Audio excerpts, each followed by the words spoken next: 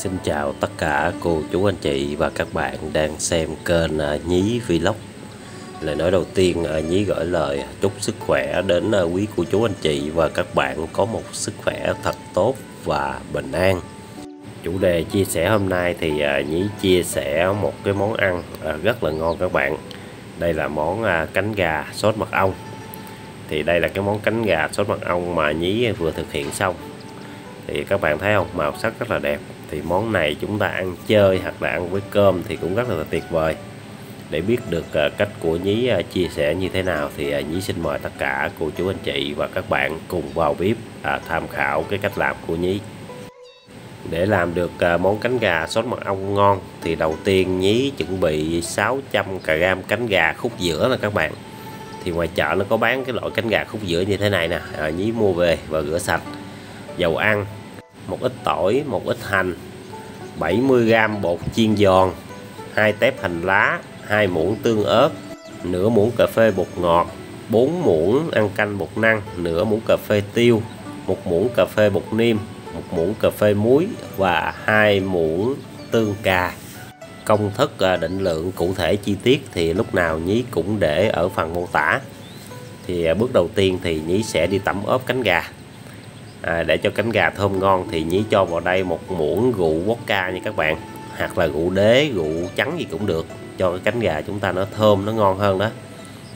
Thì à, nhí sẽ niêm sơ vào đây một chút xíu gia vị. À, giống như là một ít tiêu nè một ít bột niêm một ít bột ngọt một ít muối rất là ít nha các bạn ít lắm nha. Để cho nó có một ít gia vị á, khi chúng ta chiên lên thì nó sẽ đậm đà hơn. Thì bây giờ Nhi sẽ ốp trong vòng là à, khoảng 3 đến 5 phút bây giờ Nhí sẽ lắc đều gia vị lên và Nhí để đây trong vòng từ 3 đến 5 phút. Bây giờ thì à, Nhí đi à, pha cái nước sốt mật ong. Thì đầu tiên Nhí cho 4 muỗng ăn canh sốt mật ong vào một cái chén này các bạn. À, nửa muỗng cà phê bột niêm nửa muỗng cà phê muối và nửa muỗng cà phê bột ngọt và nhí cho cái tương cà tương ớt này nè các bạn để chúng ta tạo cái màu sắc cái sốt mật ong của chúng ta nó vừa đẹp và nó vừa bóng bẩy cũng như nó sẽ ngon hơn hấp dẫn hơn đó các bạn.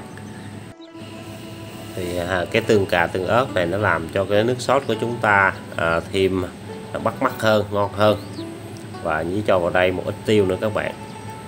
Thì cái định lượng này cho 600 g gà. Nếu anh chị nào à, muốn ăn lạc hơn hoặc là mặn hơn thì chúng ta có thể thêm gia vị nha. Đây là các bạn cái nước sốt nhí à, thấy nó hòa tan đều rồi nè. Nhìn rất là ngon các bạn. Bây giờ nhí sẽ đi chiên cánh gà nha. Thì à, sau khi à, cánh gà nhí ốp được khoảng à, 5 phút thì nhí sẽ cho cái bột chiên giòn vào nè các bạn. Bây giờ nhí sẽ trộn đều lên. Cho cái cánh gà nó áo một cái lớp bột chiên giòn mỏng ở xung quanh cánh gà đều hết như vậy thì chúng ta chiên nó sẽ ngon hơn với lại nó sẽ ờ, uh, rút cái nước sốt mật ong vào nó sẽ đậm đà hơn. Bây giờ nhí sẽ vũ bột ra và nhí sẽ chuẩn bị chảo dầu để chiên nè các bạn. Đó bây giờ nhí sẽ lấy phần cánh gà thôi cái phần bột thừa thì nhí bỏ nha. Bây giờ nhí ờ, chuẩn bị một cái chảo dầu thì cái món này các bạn chiên ngập dầu thì nó sẽ ngon nha các bạn. Bây giờ nhí sẽ cho dầu vào chảo đây dầu sôi nè các bạn. Bây giờ nhí à, sẽ cho cánh gà vào chiên nha. Thì à, cái cánh gà này à, khúc giữa nên nó cũng rất là nhanh chín. Nên các bạn à, cái bếp ga đôi thì các bạn cứ để hết lửa nha. Thì cánh gà này chúng ta chiên khoảng từ 5 đến 7 phút là nó chín rồi. Bây giờ nhí cho vào chiên nè các bạn. Thì à, có nhiều anh chị thắc mắc ví dụ chúng ta không áo bột được không? Thì à, tất cả các món ăn mà liên quan tới nước sốt à, trừ những cái nước sốt à, không quá đặc biệt thì chúng ta không cần tẩm bột. Vì khi chúng ta tẩm bột một lớp mỏng như thế này nè các bạn khi chúng ta chiên giòn lên đó khi chúng ta sóc cái nước sốt đó, thì cái bột này nó đang chiên giòn khô nó rút cái nước sốt ngược vào trong cánh gà. Nó giúp cho cánh gà à, ngấm hơn đều hơn đậm đà hơn về cái phần nước sốt đó các bạn đây các bạn, nhí chiên cánh gà được khoảng à, 5 phút rồi. Bây giờ cánh gà vàng giòn rồi, nhí sẽ vớt ra và nhí sẽ đi trộn với nước sốt nha các bạn. Các bạn nhìn không? Rất là giòn và rất là ngon luôn. Như thế này thì chúng ta sóc với nước sốt thì cái nó rút, cái nước sốt ngược vào trong thì cái cánh gà chúng ta nó sẽ ngon hơn. Bây giờ nhí sẽ đi à, phi hành, phi tỏi lên cho nó thơm rồi các bạn đây nhí sẽ cho hành tỏi với lại dầu và phi lửa nhỏ cho cái phần hành tỏi này nó thiệt là thơm. Đây các bạn ơi, cái tỏi hành nhí đã vàng và thơm rồi nè. Thì bây giờ nhí à, sẽ cho cái phần nước sốt mật ong lúc nãy vào là các bạn. Đây. Cái à, cái sốt mật ong á là các bạn dùng muỗng ăn canh nha, muỗng lớn nha các bạn. Đây nhí sẽ cho vào và bây giờ nhí sẽ quậy đều lên. Rất là ngon các bạn ơi, màu sắc thì à, rất là bắt mắt. Bây giờ nhí sẽ trộn đều lên nè. Khi cái nước sốt nó sôi lên thì nhí sẽ cho cái hành lá vào để tạo màu nè các bạn, cũng như tạo cái hương vị nữa đó. Và cuối cùng thì à, nước sốt nhí đã sôi thì bây giờ nhí sẽ cho cái phần cánh gà vào và đảo đều lên. Quá trời ngon các bạn ơi đây nhí sẽ cho cánh gà vào. Rất là ngon luôn các bạn ơi.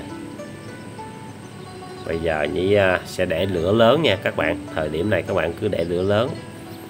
À, có nhiều lửa để hết nhiều. Và sóc. À, sóc à, hoặc là trở về đều cho cái cánh gà nó ngấm cái nước sốt vào rồi à, nó sẽ ngon đó các bạn. Đây các bạn nhìn không? Rất là ngon luôn. Thì món này ăn chơi cũng rất là ngon ăn cơm ăn hay nhậu gì cũng đều ngon nha các bạn. Đây Nhi sẽ trộn đều lên chút xíu nữa thì Nhi sẽ cho ra dĩa nha các bạn. Đây cái cánh gà của Nhi đã xong rồi nè các bạn. Rất là ngon các bạn ơi. Bây giờ Nhi sẽ cho ra đĩa nha và à, mời tất cả các bạn cùng thưởng thức coi cái hương vị nó như thế nào nha. Đây là cái món cánh gà à, sốt mật ong mà Nhí đã làm xong à, nếu anh chị thấy à, video Nhí hay hữu ích hãy để lại cho Nhí xin một like cũng như share những cái thông tin này cho bạn bè mình cùng xem. Và đừng quên nhấn vào nút đăng ký kênh để ủng hộ Nhí nha các bạn. Để Nhí có nhiều động lực hơn à, chia sẻ nhiều cái món ăn ngon hơn để phục vụ cho tất cả các bạn. Thì à, sau khi cái cánh gà nhí cho ra đĩa thì cho cái cánh gà nó đẹp nó ngon hơn thì nhí cho vào đây một ít à, mè gan đó các bạn. Thì món này chúng ta có thể ăn chơi hoặc là ăn cơm hoặc là ăn với bánh mì thì cũng rất là ngon nha các bạn. Đây bây giờ nhí à, sẽ xin mời tất cả các bạn coi thưởng thức coi cái hương vị nó như thế nào nha. Các bạn nhìn không? Màu sắc rất là đẹp luôn. Đó, thêm một ít mè thì cái món ăn của chúng ta nó sẽ sống động lên nó nổi lên các bạn. Rất là ngon luôn. Bây giờ nhí xin mời tất cả các bạn nha. Wow trời ngon các bạn ơi. Đây các bạn nhìn không? Màu rất là tươi luôn.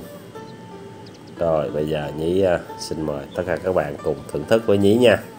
Ngon quá trời các bạn ơi. Rất là ngon luôn các bạn ơi.